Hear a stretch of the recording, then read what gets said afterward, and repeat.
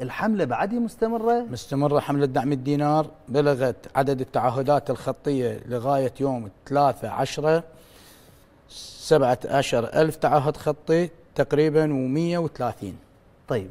نعم. مجموع الشركات والمحال التجارية والوكالات اللي أخذت من التعهد الخطي 13020 معارض السيارات 3504 طيب. مجمعات السكنية 409 في بغداد والمحافظات. جيد. أنا الموضوع أنت طبعا ملم بي وعملك مشهود وإحنا دائما نشهد لعملك لكن أكو بعض الأشخاص يقول لك أنا أتعامل بالدينار العراقي.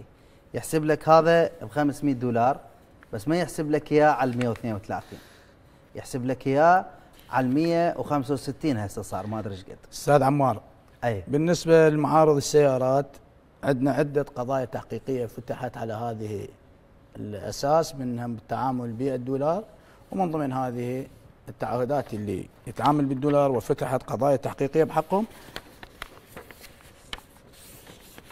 طيب خلينا نشوف.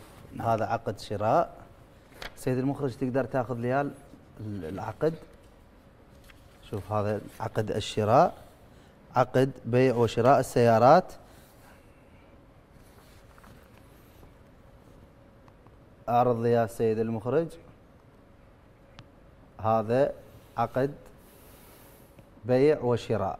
هذا عليه إجراء قانوني؟ نعم هاي دعوة قضائية موجودة في مديرية مكافحة الجريمة المنظمة الرصافة. طيب. بالإضافة إلى عدة عقود أخرى عرضت أمام القضاء يطالبك بدليل تقدمه بأن هاي الشركة تتعامل بالدولار.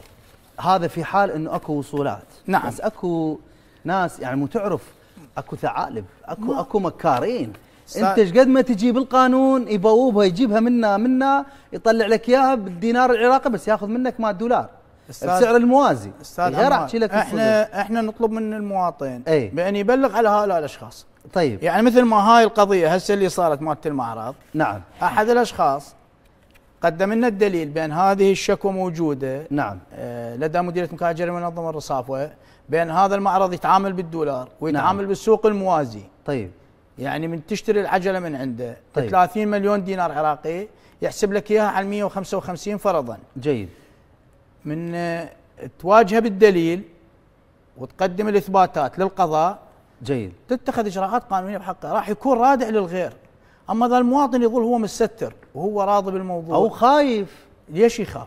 يخاف. يقول لك أنا ذاب إذا الايجار هو القانون ده يحميه. إي. ليش يخاف؟